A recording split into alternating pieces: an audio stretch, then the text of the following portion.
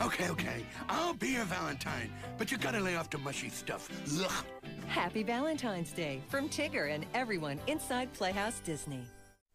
Would you be my Valentine? I- I'd be so happy to be yours. Happy Valentine's Day from Piglet and everyone inside Playhouse Disney.